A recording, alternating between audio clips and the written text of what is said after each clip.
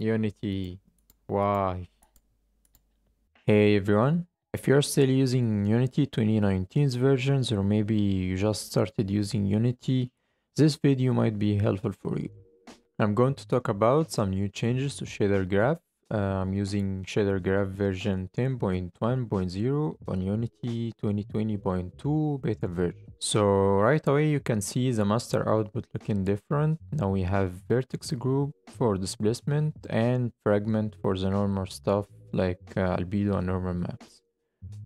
Uh, I like this change because now I can work on displacement anywhere in the graph and just drag this group to it.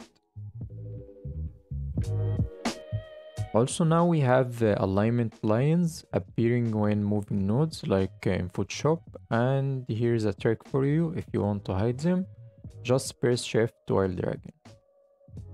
And speaking of lines now if you double click any line you will get this node and now instead of this you can make your graph just a little bit cleaner.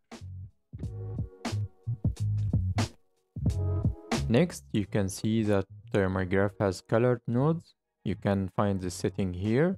By default, it's set to none, but you can change it to category and every node will get a color indicating its category.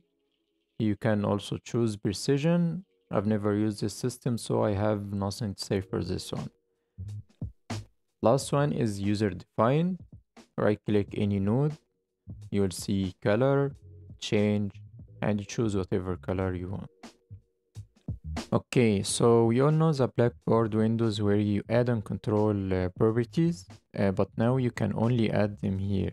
And to see their settings, you need to open the graph inspector window.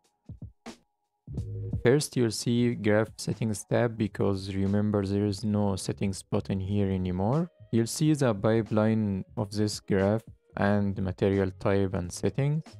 If you open uh, node settings, now you can see, select any property first and you'll see the settings that you used to have here as drop down. So now every time you want to see the settings of any property, you will have to open both uh, the blackboard and the graph inspector. Select the property in the blackboard and change its settings from the inspector. And I'm not sure if I like this one, it's like doing more steps to get the same result. In fact, I think it would be better to make these settings as a drop down inside the graph itself if possible. And here's some honorable mentions. Uh, vector 1 is now called float. And if you go and search color, it's not the first option anymore. Come on, Unity. And that's it. I hope you liked this video. If you did, leave a like and consider subscribing to the channel and I'll see you in the next video.